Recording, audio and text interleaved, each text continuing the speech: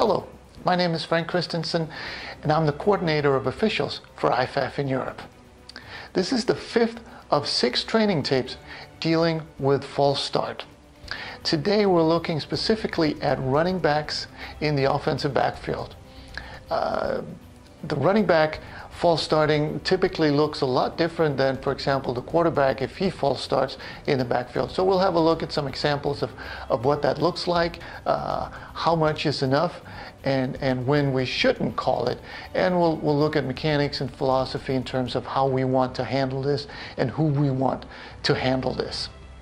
But before we get to the game film, let's have a look in the rulebook and the MOFO to see what they have to say on this topic.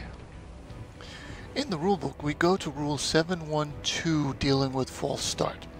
Each of the following is a false start by Team A if it occurs prior to the snap, after the ball is ready for play, and all players are in scrimmage formation. 1. Any movement by one or more players that simulates the start of a play. 2. The snapper moving to another position. And 3. A restricted lineman according to Rule 227.4, moving his hand or making any quick movement. As for the exceptions, 1. A.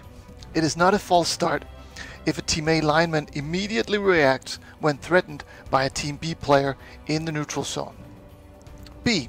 It is not a false start if the snapper takes his hand off the ball provided this does not simulate the start of a play. And then four, it is also a false start when an offensive player makes a quick jerky movement before the snap included but not limited to A. A lineman moving his foot, shoulder, arm, body, or neck in a quick jerky motion in any direction. B. The snapper shifting or moving the ball, moving his thumb or fingers, flexing his elbows, jerking his head, or dipping his shoulders or buttocks. C. The quarterback making any quick jerky movement that simulates the beginning of a play. And D.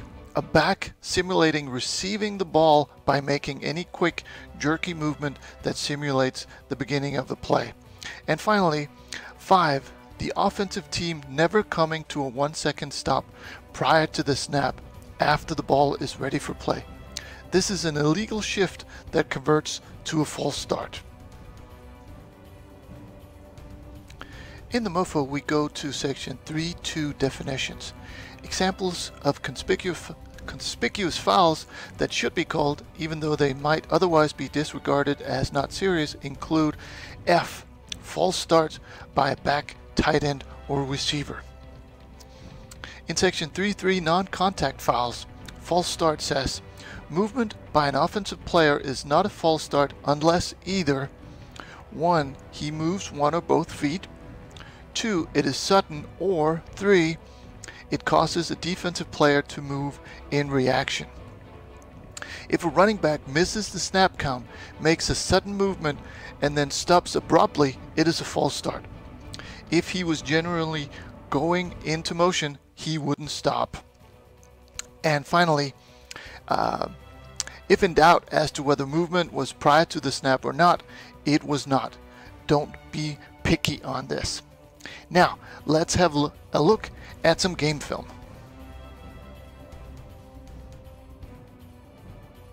In the first couple of examples, we're going to look at, at movement that is not enough for a false start.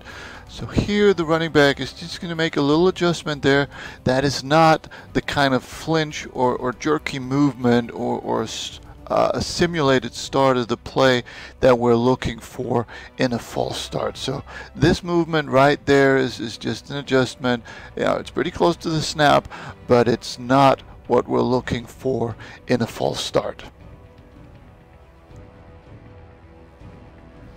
On this play, the running back doesn't really move as much as he just kind of leans forward a little bit before the snap. But really, this is not enough uh, for us to call a false start. Uh, certainly could be a talk to and, and, let the running back know that, hey, make sure you don't lean uh, forward before the snap. But, but uh, at, at most, this is not what we're looking for in a false start either. uh, as opposed to the plays that we're getting into from now on. If we look at this running back, he simply just uh, misses the snap count and he jumps too early uh, right there. This is um, this is the start of the play for him and it's just before the ball is snapped. So this is not uh, going into motion. Uh, this is way too abrupt. Uh, this is a flinch or, or jerky movement and certainly too abrupt for us not to call it and, and and, and this is what we're looking for in a false start in a running back. Here we're looking at the, the fullback. There are actually two running backs here. And the fullback is going to do a lean, but the lean is, is, is it turns into a little step there right before the snap. So this is more than the lean we saw before. And this is too much um, for us to ignore or, or handle with the talk to. And, and here we have a good situation or a good example of why it's important for the wing or for the, uh, for the backfield officials to focus primarily in the backfield pre-snap. If, if this referee is looking uh, at the line of scrimmage or, or you know the the tackle that he may be responsible for after the snap, if it turns into a, a pass play, then we're likely to to to miss these types of of small uh, flinches uh, in the backfield. So so keep your primary focus at least in the backfield, and we will keep we will uh, notice and catch these types of, of false starts by the running back. On this play we're looking at the movement by the by the tailback here the running back and and again it's just a lean but but it just uh, gets a little bit too big uh, and we almost get a uh, get a step there before the snap is is uh, or the ball is snapped. So this is this is too much to let go and again um, good reminder of why as, as both the referee and the center judge uh, to keep your focus in the backfield uh, so that we catch this and, and uh, we have the uh, the end zone shot where we can see pretty much what what they see. So here's the end zone shot and, and here you can you can clearly see that he starts leaning towards that left side and, and, and his heel actually even lifts off the off the the turf before the ball is snapped. So again, this is this is big enough that we want to call it and a good indicator or, or a good example of, of why it's important to keep your primary focus in the backfield as referee center judge.